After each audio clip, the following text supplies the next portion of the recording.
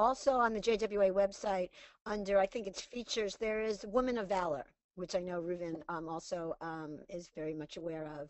And it is, um, you can order the posters, and I have to say that they are beautifully made posters. They really give, in a shorter amount of time, what Reuven is trying to do in his class, what he is doing, or is trying to do, he is doing. And um, they work for a large age, they will work for adults, and they also work, we've, had, we've used them in my school as, as low as fourth graders. So I'd also like you to encourage you to look at the Heroes the Women of Valor because the kids really, really got a lot from these posters that give you a timeline and what they, how to use them and who these people were. And they're really a wonderful resource along with all the primary source material that is also on the site. So I, I would I would echo that. I in fact did use the posters. I teach in addition to American history.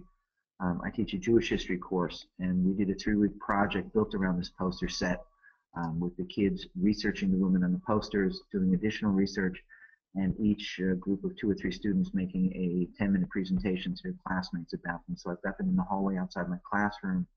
Um, so these are also wonderful resources. Uh, I just can't say enough great things about uh, the archive. I've used it in my American history class, in my Jewish history class. I've, I've brought bits and pieces of it uh, into my Chumash class this year. We're teaching Sefer Breshit. So I have the boys I teach doing a research project on the Imahot, Sarah, Rivka, Rachel, and Leah.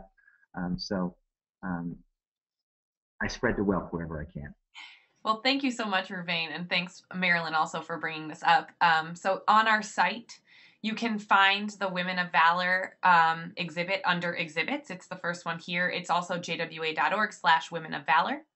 Um, and this week in history is at jwa.org slash this week as um, Reuven mentioned, it's also under features and this week in history, which is the third option here. Um, each one has a uh, sort of little article. A lot of them have pictures. Many of them have links to other places on the web.